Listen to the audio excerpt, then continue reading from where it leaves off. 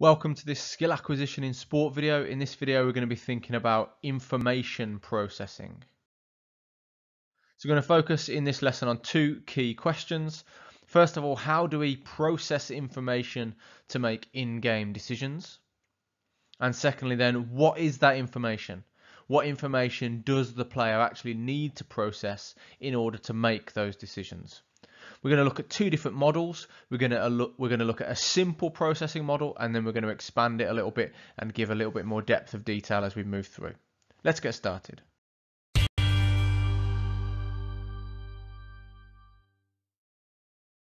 So the first model is called the simple processing model and that's because it's as simple as really we could possibly make it. It represents uh, what's going on um, in body and mind as we process the game that's going on around us and the requirements and the demands of the game, and then select certain skills to then perform in order to meet the demands of that game. And we've just broken it down into three sections, nice and simple. Um, these three parts of this process the input, the central part, and then the output. And that sounds pretty simple, and that's obviously why it's called the simple processing model. So, what do we mean by input? Well, input is any environmental information, stuff that's going on around us as we're playing. That might include the ball. So, as the ball moves and as we watch the ball, uh, there's input coming via our eyes in particular as we watch the ball and the ball movements. Then maybe the movement of our teammates or the movement of opponents. Also, we might have certain kinds of shouts and calls from our teammates. There may be even other kinds of perceptive um, senses that we're we're relying on, and all this counts as input into the process of uh, determining what skill to perform next, or what skill to perform in response to environmental changes. So the input essentially is any environmental environmental information that we're we're aware of and that we're perceiving and that we're taking on board in order to make a decision about our skill choices. So then what about the central stage? Well, the central stage essentially is um, just to, in this simple model, just encapsulates everything to do with making a decision, decision making. Once we've got all that information from the external environment, We've got that information now. We're going to make a decision, and we're going to make a decision by recognizing maybe certain patterns of play, by perceiving the flight of the ball, and so on, and selecting a response that we have available to us. Maybe that response is available to us because we've practiced it again and again. It's a skill that we've we've honed and, and improved over time. So it becomes a response that's available to us and we'll get into that in more detail, detail in just a moment. But essentially, at the central stage of the simple processing model, we've got all these things going on that are helping us to make a decision as to what skill to perform in that particular situation based on the environment that we see around us or that we experience around us. So then the output, very straightforwardly, is once we've made our decision, the output um, stage of the simple processing model simply refers to the execution of the movement itself. So that's sending the signals to the muscles and uh, causing the muscles to contract and the, uh, the, the skeleton to be moved and and so on uh, in terms of how fast it should move and the speed and the direction and all these factors. The execution of the movement is the third and the final stage of the simple processing model. So that is as it's described, a very simple way of thinking about what's happening in terms of our choice of skills as we're playing our sport. So there's information from the environment that comes in as the inputs. Then we process it in some way and we make a decision internally about what to do in response to that information. And then we execute that movement. One, two, three stages, input, central, output. So once you've performed your skill, hopefully now you've had some kind of impact on the game that you're playing. You've uh, accessed the external environment through your senses and that information has come into your into your system, into your processing as an input.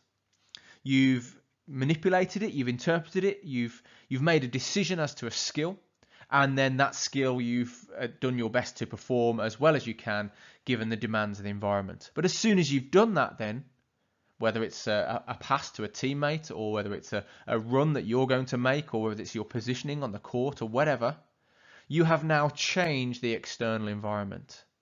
And having changed the external environment, you can begin the processing loop once more. So it's worth thinking of the simple processing model not simply as a flow from input to the central uh, phase to output, but as a loop that includes feedback. Because as soon as a movement is made, whether it's your movement or someone else's movement, uh, as soon as a movement is made, the external conditions are changed. And so new inputs arrive. And as you play your sport and as you participate in your game or whatever it might be, the, the external environment is repeatedly and constantly and consistently being changed. And so you have to again and again take those new inputs, process them, process those new inputs, make decisions, and then decide on new outputs and enact them. So the simple processing model should be thought of as a, as a fairly basic uh, loop. I guess it's a feedback loop in, in some regards. So there's an input, you take in information from your environment. The central section, you're going to decide on what skill you should perform in response to that information, to that input.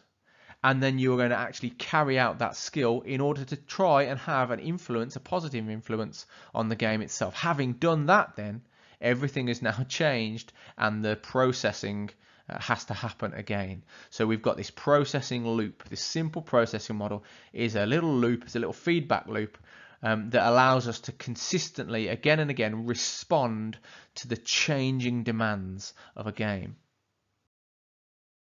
So what are some of the limitations of the model? Let's just pick up on two limitations of this model. Well, the first one is there's a problem really with that central stage.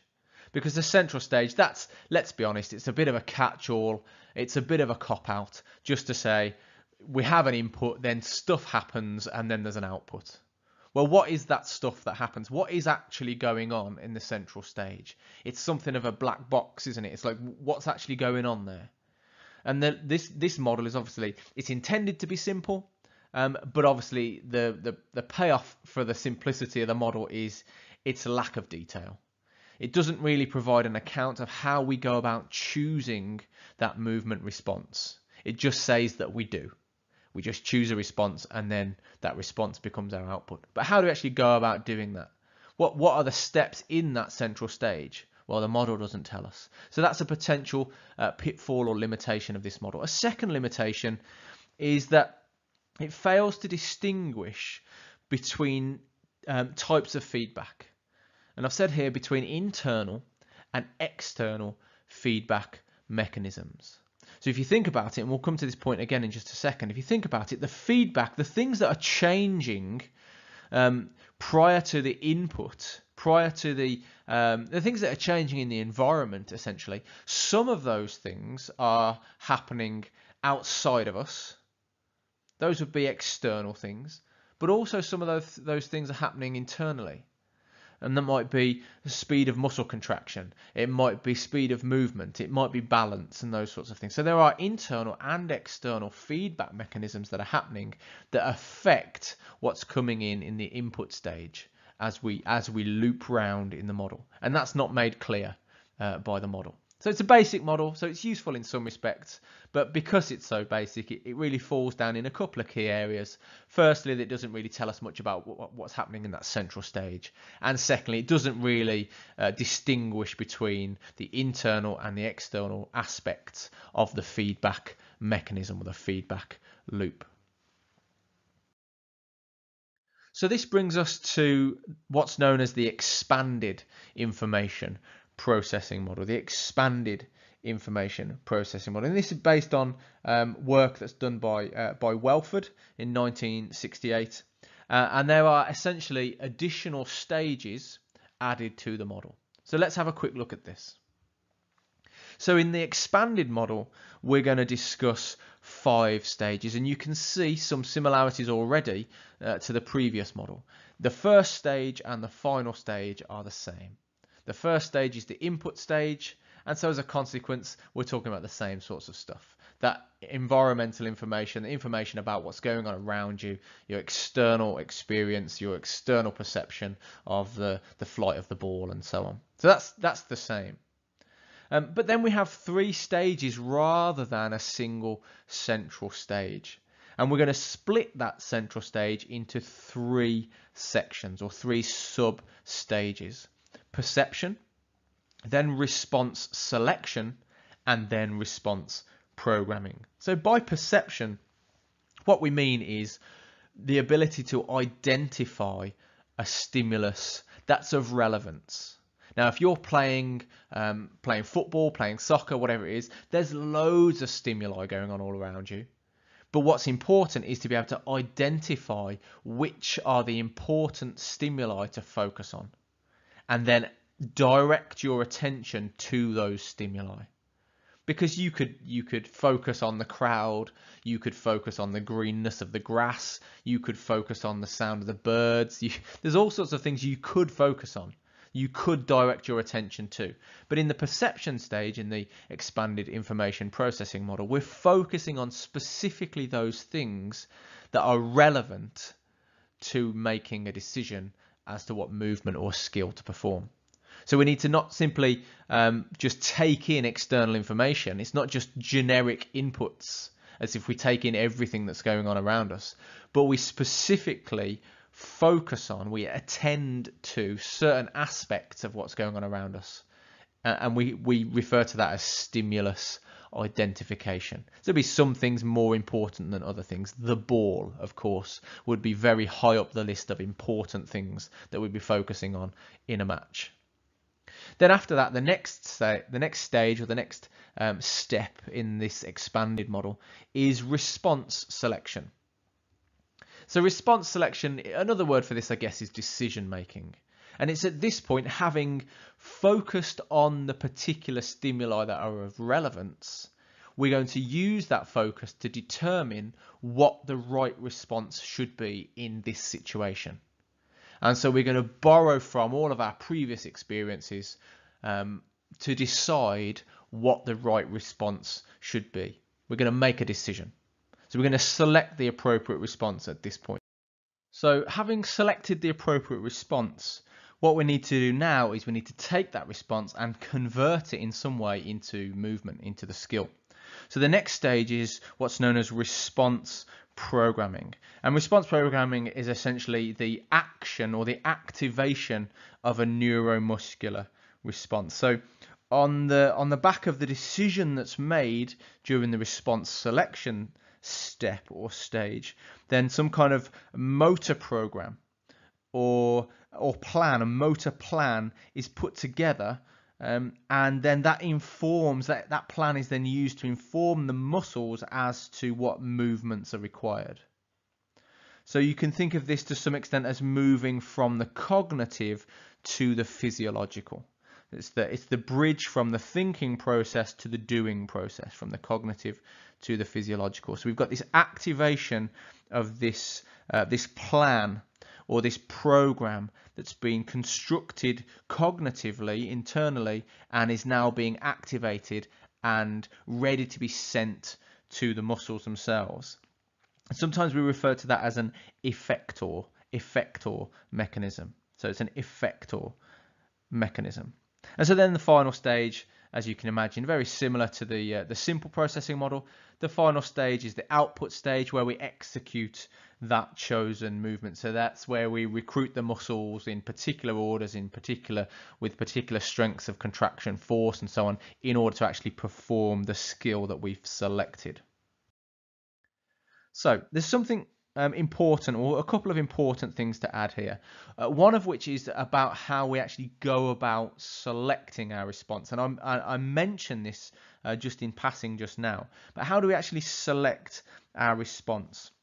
Well, essentially, we need to select our response based on our memories of previous movements.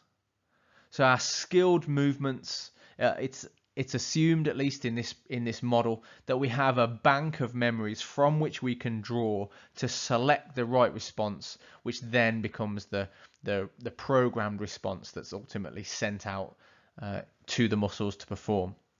So this links, of course, if, if this model is true, and if this perhaps perhaps true is not the right word. If this if this model is an accurate depiction or at least a, a, helpful model depiction of what's actually going on when we process information, then that suggests to us that the more memories that we can have of different kinds of movements of all different sorts, the more options we've got when it comes to response selection.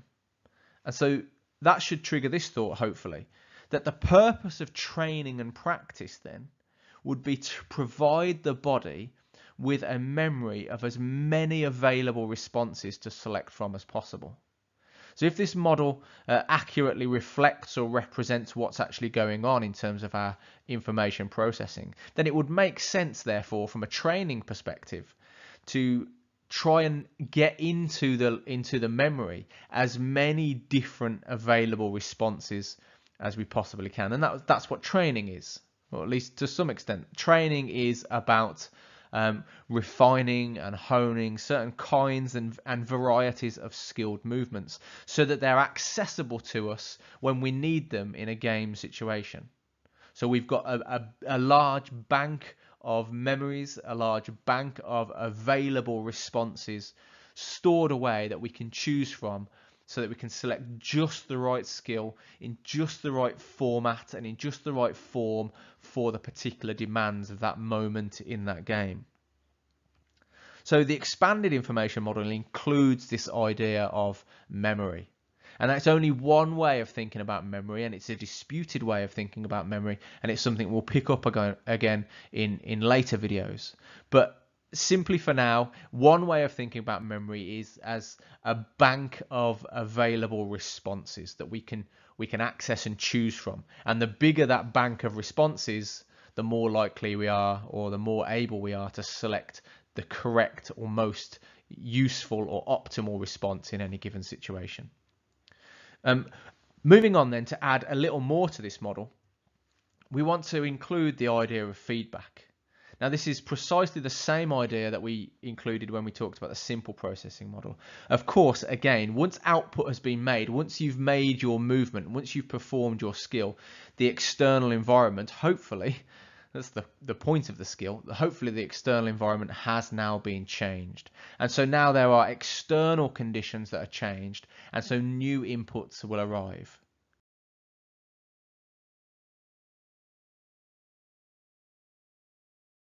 However, whilst there is, of course, extrinsic feedback, that is, as soon as a movement is made, the external conditions are changed, this model, this expanded information processing model, also includes the idea that there is intrinsic feedback as well.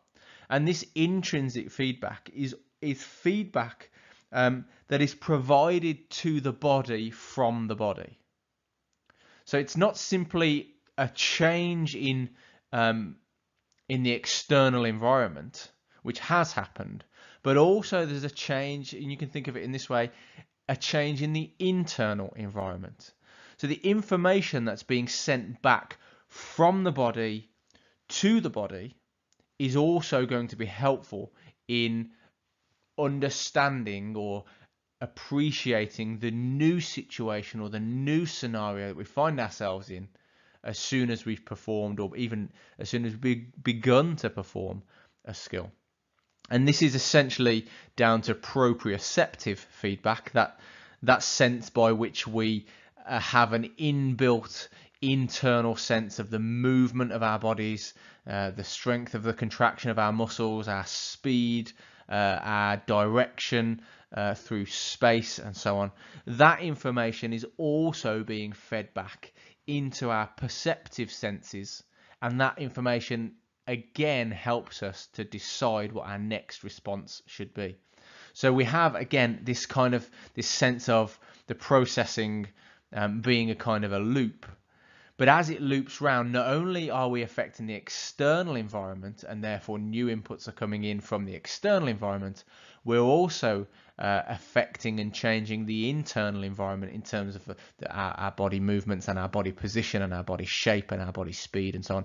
That information is also coming back round in a loop and we're perceiving both the internal and the external information and together those things when we decide of those things what we want to focus on then we can make a new response selection and a new response program and so on. So we continue to loop round, but rather than just as with the previous model, um, just account for external feedback, this model count, accounts for both external or extrinsic feedback and also intrinsic or internal feedback, which is fed back to the body from the body by the means of proprioception.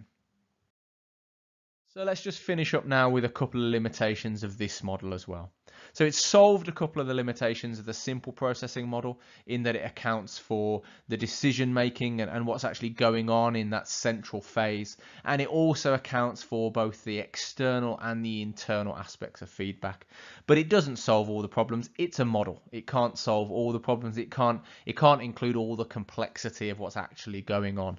And so our first our first um, limitation, I guess, can be that just very simply that human cognition is obviously always going to be vastly more complicated than a model can possibly describe or even help us to explain. So that's the first limitation. The second limitation is that we're essentially using computer-like language here. When we're talking about the body and the brain, the mind and the muscles, we're talking about language that we would normally use for uh, describing what's going on in a computer. But of course, the point is that we're not computers. Uh, we're, we're vastly more complex than computers. And so by using computer-like language to describe how we select skills and perform skills, that can sometimes obscure the impacts of emotion and other situational factors on our processing on our information processing. So emotion has an impact when we feel sad, when we feel happy, that can actually affect the way that our cognition works. And the situation perhaps that we find ourselves in, whether we're too cold or too hot, whether we're in a stress situation in particular, those sorts of things, those kinds of situations can also have an impact on the processing itself. So whereas the model itself is helpful, um, and useful in that it breaks down various steps of what's going on. It doesn't encapsulate the, the kind of the entirety of the complexity of human cognition and human emotion and really the whole embodied human person. So it's a useful model, but it doesn't tick all the boxes. It doesn't explain everything. But then again, it's not supposed to. Well, I hope that's been helpful uh, to get your head around the, the ways that we can think about information processing as far as skill acquisition and skilled performance is concerned. Please like the video. Uh, don't forget to subscribe and uh, hit the notification bell so that you can get notified every time I upload any new videos. If you've got any questions, please put them in the comments and I'll, I'll definitely get back to you. Um, but other than that, hope that's been helpful. See you in the next video. Take care.